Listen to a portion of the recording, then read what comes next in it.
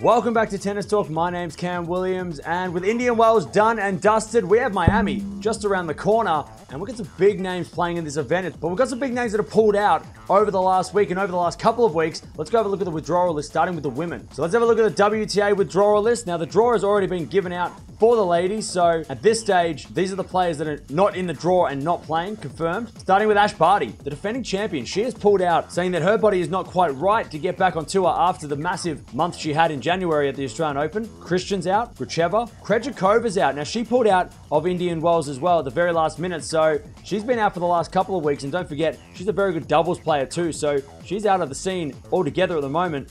Osorio's out. Pavlyuchenkov is still out with that knee problem. Pedersen and Petkovic are all missing from the draw at this stage. Let's go have a look at the men's withdrawals because there are so many big champions that are not playing this event. Novak Djokovic has pulled out. He's been forced to withdraw because he can't actually get into America to play in Miami, even though he would like to. Duckworth's also out. Roger Federer's been out. We all knew that a few months ago. Krajinovic is also out. Molcan is out. Rafa Nadal is out. Now, we only knew that about a week ago that he's going to pull out of Miami. And now that he's injured after Indian Wells, so it makes even more sense that he's not playing. Nishikori is also out. And Dominic Thiem pulled out, saying that he is not quite ready to come back and he wants to come back on the clay courts in a few weeks' time. So, some massive names there and a lot of Grand Slam champions that will not be playing in Miami this year. So there you have it. Massive withdrawals for both the men and the women. We've got the defending champion for the women. We've got the number one, number two, number three. I mean, there's so many Grand Slam champions for the men that are not playing. And it's going to make the tournaments really interesting. Now, the women's side of the, the event, we're missing a couple of big names, but there's still the big names, you know, Swiatek and Sakkari and all those players that played well last week.